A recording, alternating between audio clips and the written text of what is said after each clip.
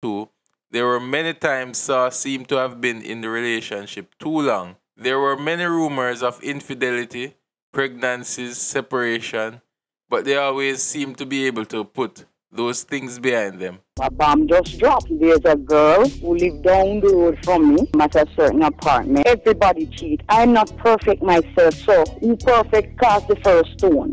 Eventually, the bottom of the bucket fell out on this relationship, and the two separated, and Saw converted her career to one of ministry, and now prefers to be addressed as Minister Marion Hall.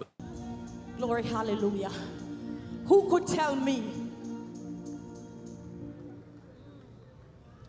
that God would be using me right now? Hmm? I thought I was useless because men made me feel like that. But God never. You understand what I'm saying? So glorify